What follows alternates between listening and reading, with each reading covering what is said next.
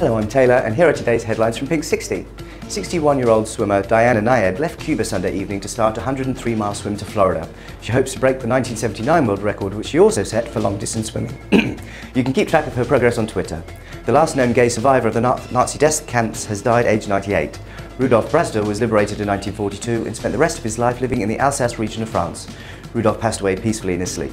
Singapore Pride got underway over the weekend with an art exhibition and a mixed sports event. The gala reception and concert took place on Sunday and this week features a selection of queer films.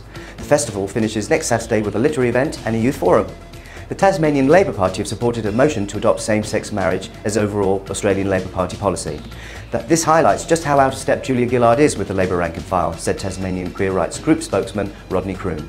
And finally, star of the Harry Potter films and the History Boys, Richard Griffiths is to appear opposite Robert Lindsay in the new BBC sitcom titled George and Bernard Shaw. According to a British newspaper, the pair will play an older gay couple in the show, which should air next year. That's all from us today, so join us again tomorrow.